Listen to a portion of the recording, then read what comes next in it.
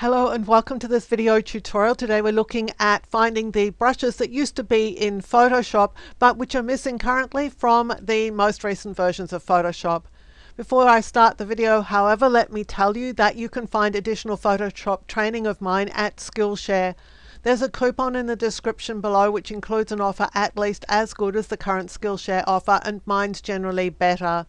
If you sign up for Skillshare, you get access to thousands of classes there, including over 200 of mine that covers Illustrator, Photoshop, Procreate, and also Lightroom.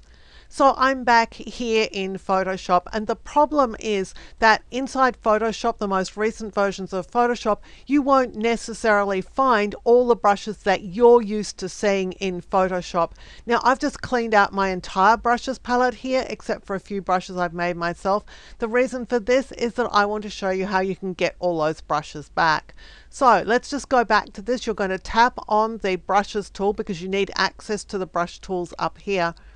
I'm going to select just right beside the current brush this little down pointing arrow and then I'm going to the gear icon over here and from this gear icon I can do a number of things. One of them is because I have just removed all my brushes from the most recent version of Photoshop which at the moment is CC 2019 I'm going to restore the default brushes. So these are the brushes that you would expect to see in Photoshop CC 2019. So I'm just going to click here on restore default brushes and I'll click OK.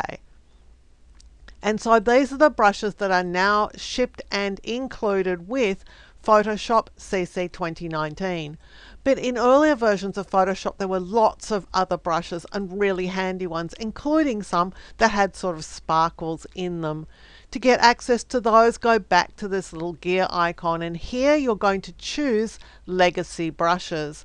When you click on that and click OK, all the legacy brushes from older versions of Photoshop will be installed. Let's just open this up. So here you've got your old default brushes and there's lots of the brushes that have special features attached to them as well as just the regular brushes. There are grasses here and all sorts of things.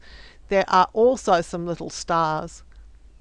There are assorted brushes which had sort of shapes in them, basic brushes, there are calligraphic brushes. So you're going to see that there are heaps and heaps of brushes and these are the ones that we were most used to using in the older versions of Photoshop and you can get to them, just the flyout menu here and click on legacy brushes.